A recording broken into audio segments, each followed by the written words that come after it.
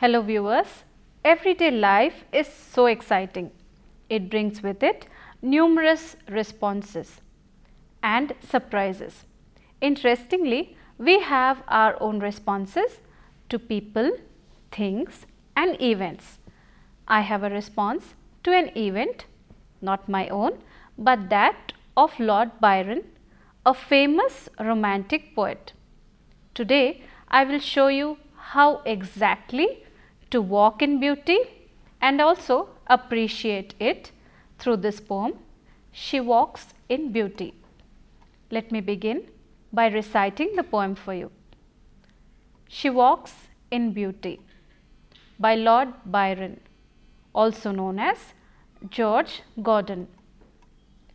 She walks in beauty like the night of cloudless climes and starry skies and all that's best of dark and bright meet her in aspect and her eyes, thus mellowed to that tender light which heaven to gaudy day denies.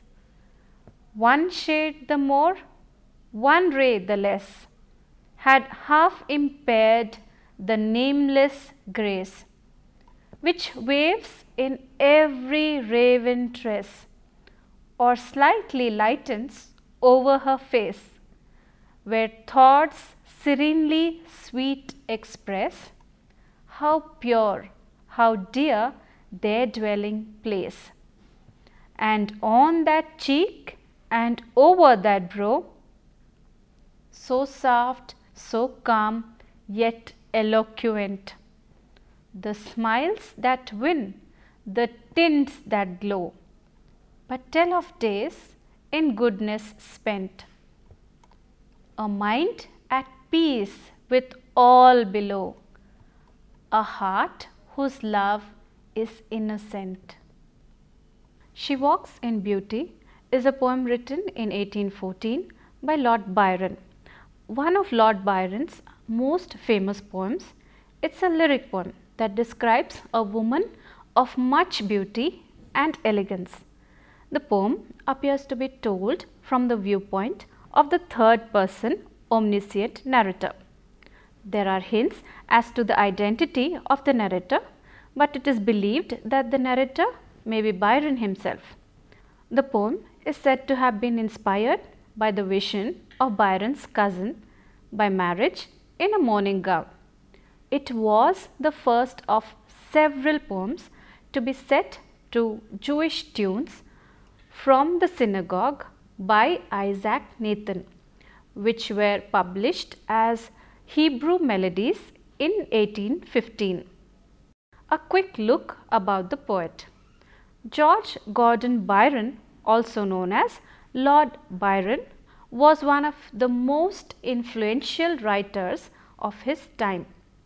He wrote the poem in 1814 and published it in a collection Hebrew Melodies. It was the first of several poems to be set to Jewish tunes from the synagogue by Isaac Nathan. Byron was born on 22nd January 1788 to Captain Mad Jack. Byron and Catherine Gordon after losing their father at an early age and inheriting the family title and estate, he went to Harrow School and then to Cambridge. He died of malaria in April 1824. Although Byron is known as one of the major poets of the Romantic period, his work has been faulted by a number of writers According to the poet W. H. Auden in his book Dyer's Hand and other essays, Byron's poems need to be read very rapidly because if one slows down, the poetry vanishes. The feeling seems superficial, the rhyme forced, the grammar all over the place. While the 19th century British poet Matthew Arnold considered Byron along with Wordsworth first and preeminent in actual performance among the English poets of this century. He holds a similar opinion of Byron's technical merit. Writing in a preface to Poetry of Byron, Arnold states, As a poet, he has no fine and exact sense for word, structure and rhythm. He has not the artist's nature and gifts.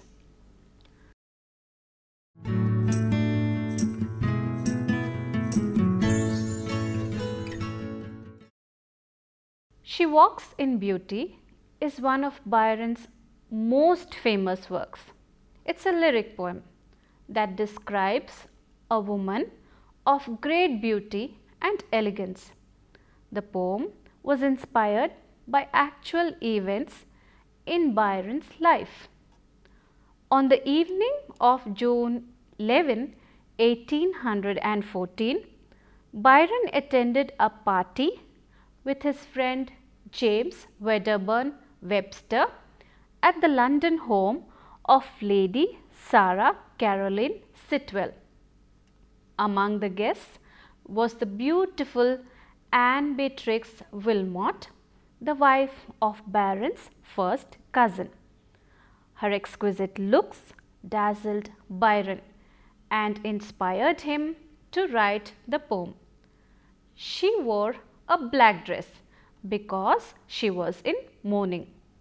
The poem was performed by the Golden Goblets as madrigal on season 3 of Glee in the episode On My Way.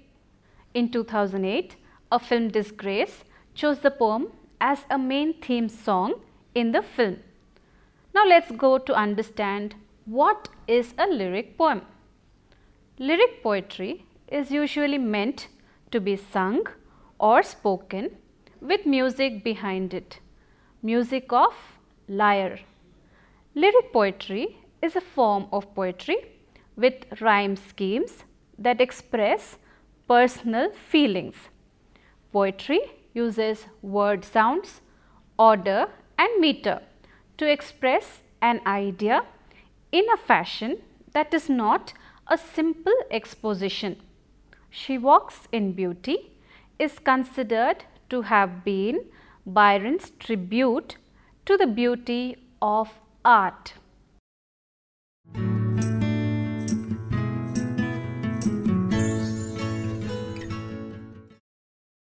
A quick look at the summary. The poem is about an unnamed woman. In the first stanza, she walks in beauty. She is not just beautiful, but walks in beauty, which enhances her beauty and becomes more dynamic.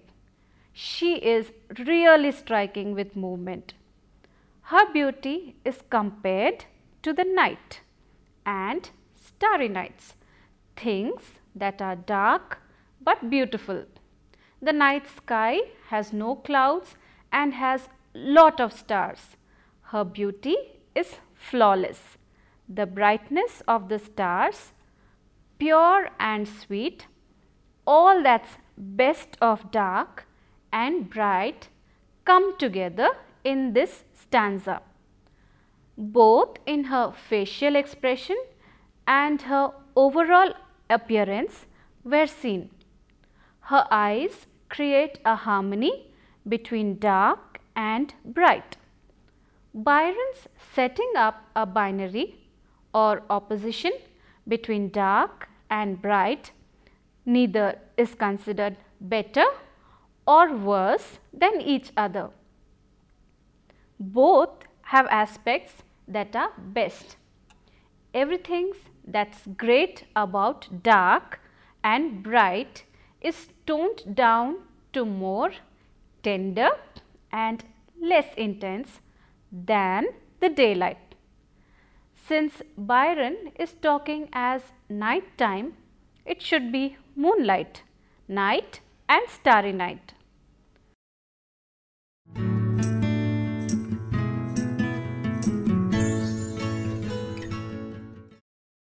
The woman's beauty is so balanced and perfect that one shade more or one ray less would mess everything up. Her beauty and grace are so hard to define that they are nameless. This nameless grace is seen in every lock of her black hair which is referred to as every raven tress and it lightens her face. This contrast is clearly shown.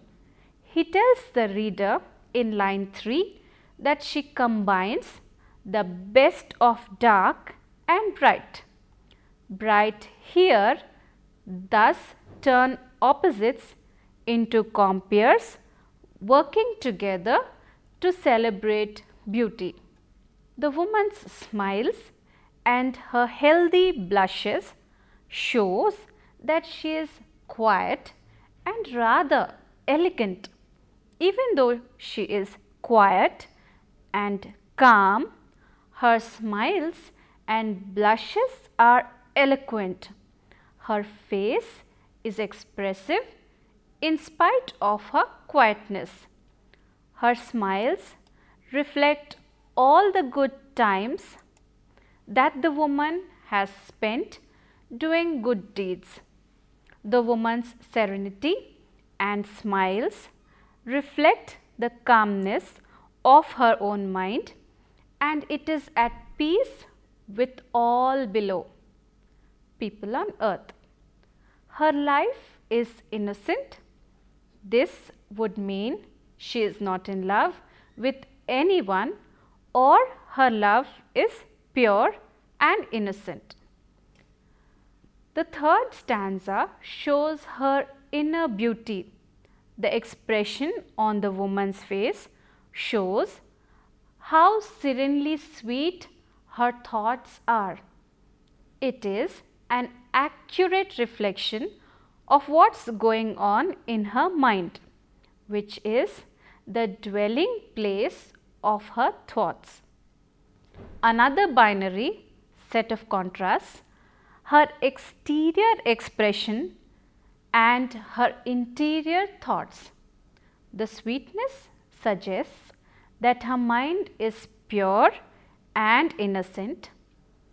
Dear in this context means both precious and valuable.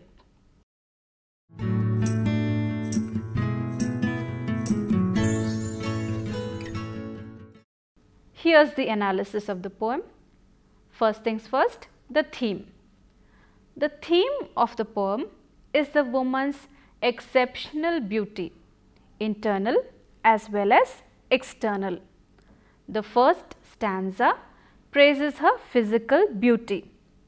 The second and the third stanzas praise both her physical and spiritual or intellectual beauty.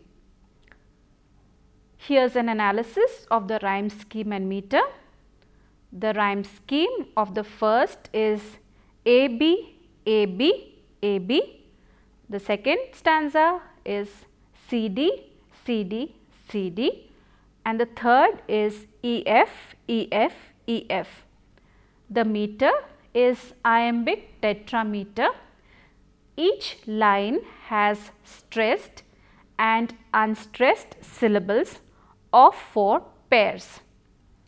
It has a pattern in the first two lines, but the last 6 lines has 9 syllables. She walks in beauty like the night of cloudless climes and starry skies. But in the fourth line, instead of starry with an unstressed syllable, it starts with a stressed syllable. It is called metrical inversion. Meet in her aspect and her eyes. It looks like a deliberate break in the rhyme that calls for attention to the steadiness of the rest of the poem. It is pattern inverted or reversed. What is enjambment here? Carrying the sense of one line verse over the next line without a pause is enjambment. It links the first line with the second. No pause after night. The poem begins with the image of a woman who walks in beauty like the night. The reader should wonder as to how she could be found. The speaker says that the night is cloudless and that the stars illuminate the sky. The imagery is brought in. Light and darkness. This line clears the reader's mind. This is known as enjambment. The poem opens without punctuation and Byron draws attention and emphasis the counter mechanism in the second line. Poets use this mechanism together with enjambment to get the attention to certain words. The fourth line has the word, it is an important word for the entire poem. Opposites meet in this woman, just as enjambment and a change in meter are joined together as mechanisms in this poem. The unlikely pair of darkness and light meet in this woman. What is alliteration? It is a figure of speech to enhance the appeal of the poem while you read. Cloudless climes, starry skies, day denies, had half, which waves, serenely sweet, so soft, so heart whose. The second line of cloudless climes and starry skies, the poet uses alliteration, the light and dark contrast. The light and dark appear in her face and in her eyes. Her face has light skin and has dark hair and her eyes are dark in the iris in contrast with the white cornea of her eye.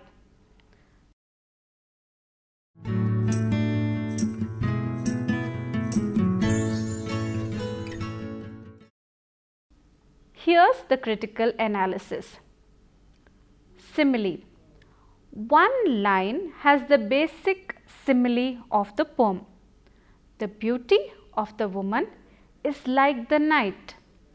Sibilance is the repeated sound that are very musical to the ear. It is soothing like cloudless climes in line 2. The cland S sound alliteration is used. In line 11, thoughts serenely sweet express also gives a soothing and serene feeling.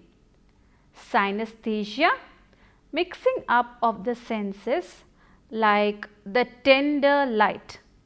Tender describes a tactile sensation. Light is something you see. The woman's beauty is so overwhelming that the poet's senses and feels things he usually sees. Personification Heaven is personified in line 6. The sky cannot really deny anyone or anything. So, the poet is giving attributes of a human being. Metaphor In line 12, Byron uses a metaphor to describe the woman's mind. He says that it is the dwelling place of her thoughts. Synecdoche is a poetic convention to substitute a part for the whole. to talk about a person's heart feeling a certain way. Heart is a part of the whole body of a person.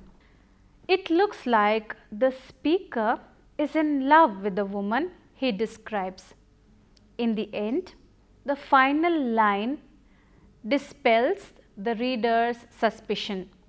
The word innocent describes her personality almost as much as her exterior beauty.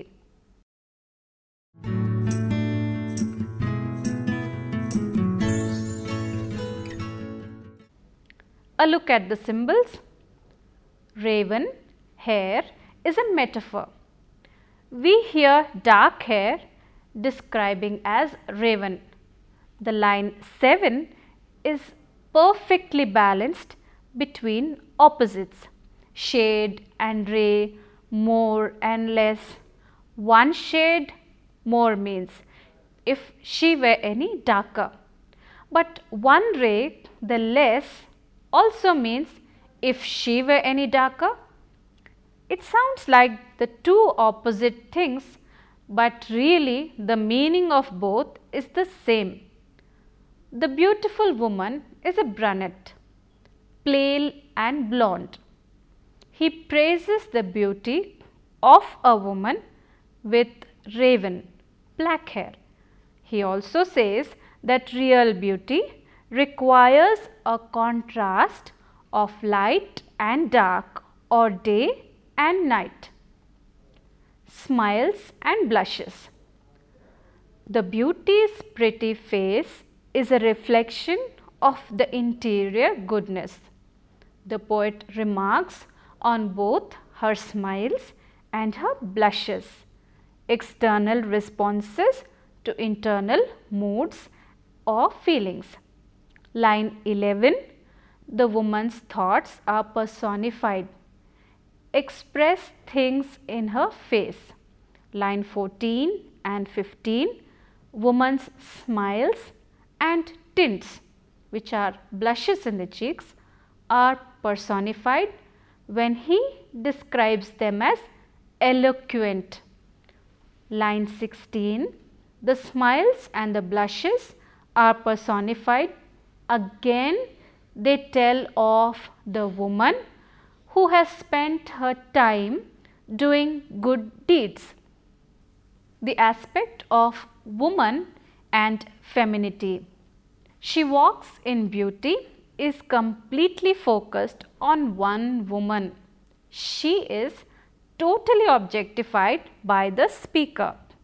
Because she is not named, the speaker worshipped her and idolizes and compares it to things that are so vast and unusual. We have dealt with the thematic aspects as well as the technical structure of the poem. Here's a quick recap of all that we learnt. The poem talks of the beauty of woman in mourning at superficial level. But it actually means that beauty is not just physical, in fact spiritual and also intellectual. A comparison with the stars in dark sky is drawn to that effect. Technically, the rhyme scheme A B A B A B is repeated for rhythm because it is a lyric poem and hence the music. Also, the metaphor and the similes in the poem are used to heighten poetic value. This poem can be used as an excellent example, in fact, a perfect combination of rhyme scheme, meter and also for its lofty ideal. Friends, until we meet again, do dwell on the poem. Happy learning. See you very soon.